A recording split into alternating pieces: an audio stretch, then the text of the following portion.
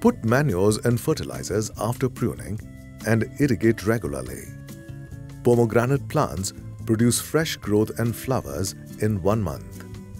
If vegetative growth is more and flowers are less, spray 1000 ppm lihocin or 500 ppm maleic hydrazide. It suppresses vegetative growth and encourages flowering. Flowers are seen on large number on the whole plant, but male and intermediate flowers drop down and only bisexual flowers produce fruit. Too many fruit on the plant result in poor quality. Very heavy crop exhausts the plant, leading to pests and diseases. Hence, crop regulation is practiced to have optimum and good quality crop. Retain 50 to 70 fruits on a healthy plant of 2 to 3 years age. Remove all excess fruits and flowers. Keep 100 to 120 fruits on a big plant of 3 to 4 years age.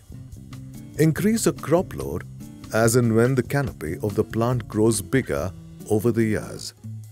If you retain more number of fruits exceeding the nourishment capacity of the plant, the fruits become small.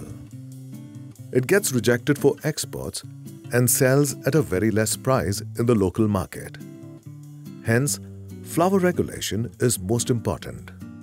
Sometimes we may notice dropping of flower and young fruit. Excess soil moisture and nitrogen, a deficiency of those two, create this problem. Otherwise, insufficient rest for the plant or delayed harvest of crop in the last season resulting in the deficiency of phosphorus, calcium and boron or increase in pest and disease lead to flower and fruit drop. Spray 100 ppm NAA solution to solve this problem.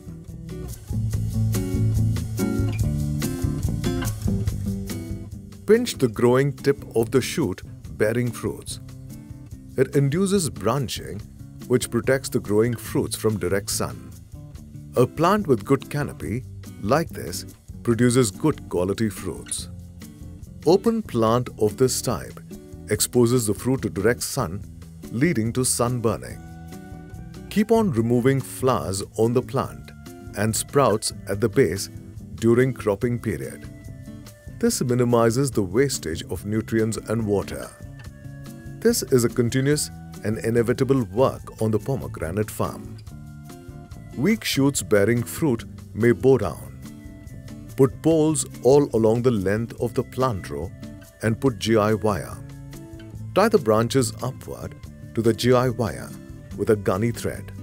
Spray 10 to 20 ppm gibberellic acid or 1 ml cytozyme in 1 liter of water to improve the size of the fruit and thickness of the skin when 80% of the fruits are at lemon size.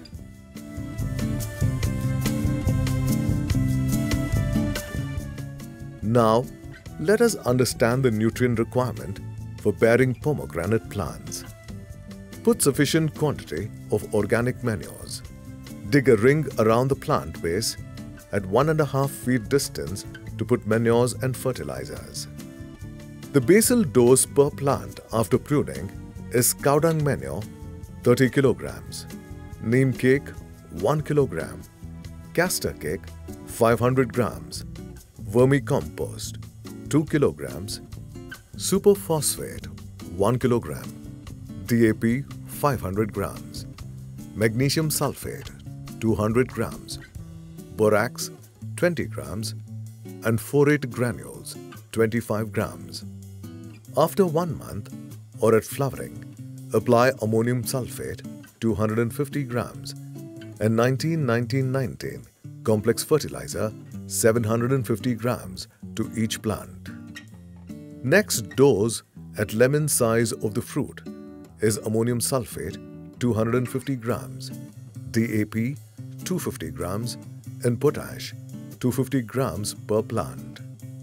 The last dose of fertilizer at 3 months after flowering is DAP 500 grams and potash 500 grams per plant. This is the dosage and the schedule if you opt for solid fertilizer application to the soil.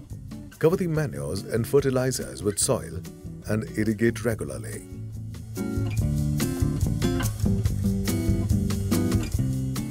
Supplying fertilizers through irrigation water or fertigation is practiced widely in commercial pomegranate plantations now. Water-soluble fertilizers are mixed in this plastic tank. The solution is injected into irrigation pipe with the help of a venturi. Fertigation improves the efficiency of fertilizer supply and absorption. Hence, it reduces total quantity of the fertilizers used. It also saves the labor on fertilizer application to the soil. Phase-wise application and liquid form of the fertilizer minimizes the wastage and improves plant growth and yield. Schedule of fertigation is like this.